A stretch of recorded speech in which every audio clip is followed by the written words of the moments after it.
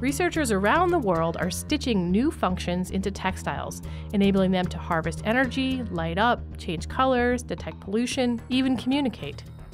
One problem is that intelligent textiles are created by chemically treating fabrics before they're made into clothing, and those treatments can wear out rapidly. Now, researchers have incorporated new functional molecules into cotton plants as they grow, which allows the plants to build the new functional fibers. They did this with a sweet idea modified sugars.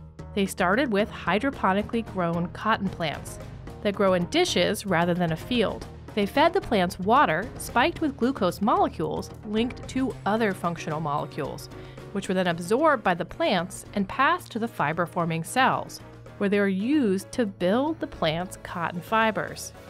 In one example, the researchers linked fluorescent molecules to the sugars.